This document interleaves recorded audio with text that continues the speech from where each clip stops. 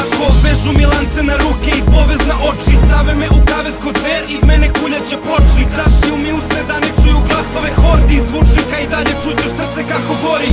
Kad prolazim kroz grad praznih duša Kad prolazim kroz kraj gladnih muka Pamet pa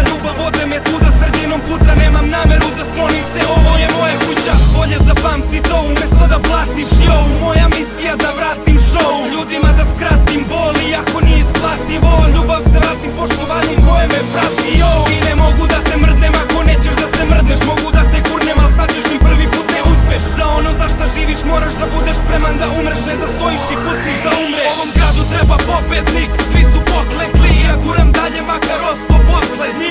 Ti bi da stojim sa strane Ja ne znam kako da živim Otpor u venama daje snagu da preživim. Ovom gradu treba pobednik Svi su poklekli Ja guram dalje makar osto poslednji. Ti bi da stojim sa strane Ja ne znam kako da živim Otpor u venama daje snagu da preživim. Ovom gradu sam se zakleo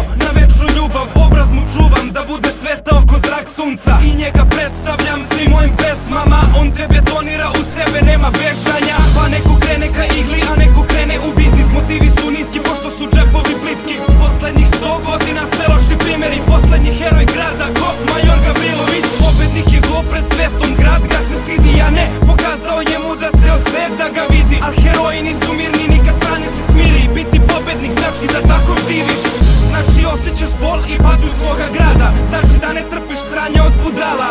Znači veliko poda jaja Da prodaš grad, nema tih para. Ovom gradu treba pobednik, svi su poklekli Ja guram dalje makar osto poslednji Ti bi da stojim sa strane, ja ne znam kako da živim. Otpor u venama daje snagu da preživim. Ovom gradu treba pobednik, svi su poklekli Ja guram dalje makar osto poslednji